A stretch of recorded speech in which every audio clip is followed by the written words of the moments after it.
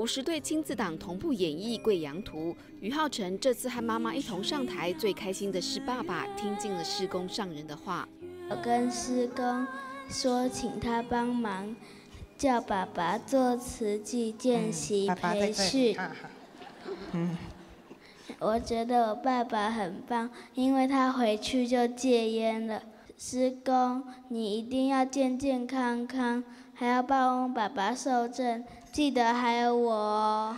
静思书轩岁末感恩晚会在慈济人文置业园区举行，大小职工一同参与。表演艺术家王博森和施意南每一年都来，用歌声为书轩祝福。对施意南来说，用好歌来传送温暖，更是他对往生母亲的尽孝。对。因为每年我都会看到他，他看到我都很开心，很开心。然后你那时候说你最喜欢一首歌是什么？我的名字叫勇敢子，是不是？我的名字叫勇敢。他 害羞。我的心。拥抱希望，拥抱爱是今年的主题。